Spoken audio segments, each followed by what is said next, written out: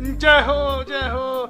ਲੱਖ ਨਿਰੰਜਨ। ਭਾਈ ਬੀਬਾ ਖੈਰ ਪਾ ਬਾਬਿਆਂ ਨੂੰ। ਬਾਬਾ ਜੀ ਮੇਰੇ ਹੱਥ ਲਿਬੜੇ ਹੋਏ ਆ ਤੁਸੀਂ ਅੱਗੇ ਜਾਇਓ ਫੇਰ ਆ ਜਿਓ। ਬੀਬਾ ਬਾਬੇ ਨੂੰ ਭੁੱਖ ਲੱਗੀ ਹੋਈ ਆ। ਕੋਈ ਆਟਾ ਤੇਲ ਨੂਨ ਮਿਰਚ ਕੁਝ ਵੀ ਪਿਆਜ ਦੇ ਦੇ। ਮੈਂ ਦੇ ਦਾਂਗੀ ਤੁਸੀਂ ਅੱਗੇ ਜਾ ਆਓ ਚੰਗਾ ਭਾਈ ਅੱਗੋਂ ਲੈ ਲੈਂਦੇ ਆ। ਲੱਖ ਨਿਰੰਜਨ। ਸਤਿ ਸ੍ਰੀ ਅਕਾਲ ਬਾਬਾ। ਲੰਮੀਆਂ ਉਮਰਾਂ ਹੋਣ ਕੁੜੀਏ। ਬਾਬਾ ਗੱਲ ਸੁਣੀ? ਹਾਂ ਸਾਡੇ ਭਾਈ ਘਰ ਤੇ ਲਿਆਇਆ ਬਾਬਾ? ਮੈਂ ਗਿਆ ਤਾਂ ਸੀ ਭਾਈ ਤੁਹਾਡੇ ਘਰੇ ਅੱਛਾ। ਪਰ ਤੁਹਾਡੀ ਨੂੰਹ ਨੇ ਜਵਾਬ ਦਿੱਤਾ। ਹੈ? ਜਵਾਬ ਦੇਤਾ? ਆ ਕਹਿੰਦੀ ਫੇਰ ਆ ਜੀ। ਹਾਏ ਮੈਂ ਮਰ ਗਈ। ਨਹੀਂ ਬਾਬਾ ਜੀ ਨੂੰ ਜਵਾਬ ਦੇਤਾ। ਹਾਏ ਨਹੀਂ ਕਰਮਾ ਸੜੀ ਦੇ ਕੀੜੇ ਪੈਣੇ ਨੇ ਬਾਬਾ ਜੀ। ਚੱਲ ਬਾਬਾ ਇਹ ਕਿਵੇਂ ਜਵਾਬ ਦੇਤਾ?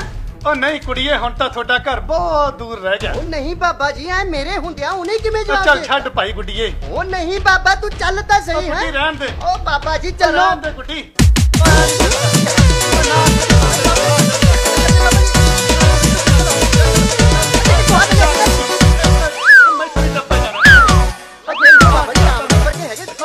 ਮੇਰੀ ਗੱਲ ਸੁਣ ਆ ਮੇਰੇ ਬੰਦ ਰੋ ਦੇ ਕਿ ਨਾ ਕੁੜੀ ਇੱਕ ਮਿੰਟ ਮੇਰਾ ਫੋਟੋ ਡਿੱਗ ਪਿਆ ਸੀ ਡੰਡਾ ਨੀ ਸਾਂਭਦਾ ਬਾਬਾ। ਬਾਬਾ ਇਹਨੇ ਮਗਰ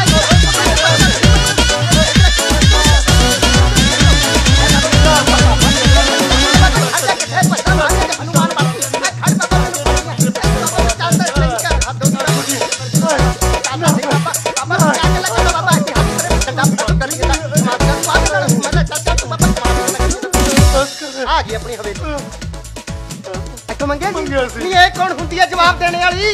ਨੀ ਕਰਮਾ ਸੜੀਏ ਨਿਕਲ ਬਾਹਰ। ਨੀ ਤੇਰੇ ਪੈ ਜਾਣ ਕੀੜੇ। ਨੀ ਨਿਕਲ ਬਾਹਰ ਬਾਬਿਆਂ ਨੂੰ ਜਵਾਬ ਦੇ ਦਿੱਤਾ।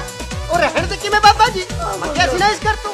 ਨੀ ਇਹ ਕੌਣ ਹੁੰਦੀ ਹੈ ਜਵਾਬ ਦੇਣ ਵਾਲੀ? ਤੇਰੇ ਪੈ ਜਾਣ ਕੀੜੇ। ਮੈਂ ਇਸ ਘਰ ਦੀ ਮਾਲਕਣ। ਮੈਂ ਦਊਂਗੀ ਜਵਾਬ। ਜਾ ਬਾਬਾ ਹੈ ਨਹੀਂ ਕੁਛ।